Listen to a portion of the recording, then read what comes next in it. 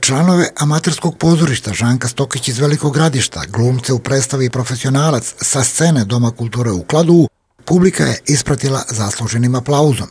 Radnja kultne predstave Dušana Kovačevića publici je predstavila period između 1991. i 2001. godine. U profesionalcu glumci amateri uhvatili su se u koštac sa ozbiljnim dramskim komadom, ali su vrhunski i profesionalno odgovorili zadatku nama je to bio izazov. I bio je izazov baš zato što se dugo bavimo ovime, da vidimo da li možemo da odgovorimo tom izazovu i da li taj izazov može da bude dobar na amaterskoj sceni. A, vrlo redko se igra u amaterizmu i onda smo poslali čak jedan dopis i čuli smo se sa gospodinom Dušanom Kovačevićem i rekli da mi želimo da igramo taj njegov tekst i on nama to da, kako bi rekao, ovo odobrenje i kaže baš mi je drago da se igra na amaterskoj sceni. I onda kad smo već to odobrenje dobili, onda smo rekli ok, ajde da počnemo. Međutim, kad smo počeli, smo videli da je to mnogo teško, ovaj, ali mislim da posle je jednotivno ne mnogo dugo vremena, nešto manje od dva meseca, mi smo ovo napravili. I ono što treba sad da kažem, ako što jako sveže i friško, mi smo igrali prošle nedelje na majskim amaterskim pozorišnim svečanostima u Despotovcu.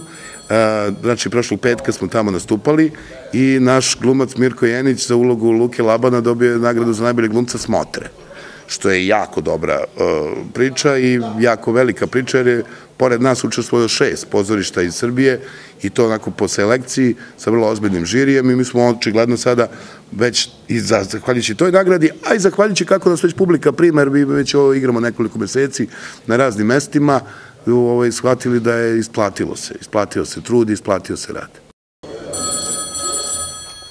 Alo, da je Čoveče, nemam pojma.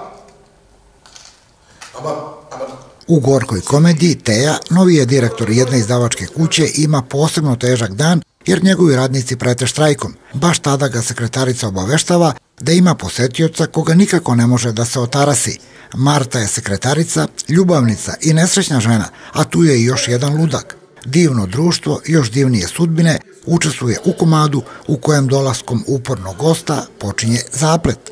Ovde nema raspleta, zaplet je ovde večet jer očigledno je to sudbina Balkana i ono o čemu mi pričamo u ovoj predstavi nije samo predstava, nije samo e, tematika vezana za Srbiju. Ja bih rekao da je ovo jedna univerzalna tema koja može da važi na celoj planeti, a nažalost na Balkanu se nekako najbolje prima, to seme izgleda najbolje klija ovde.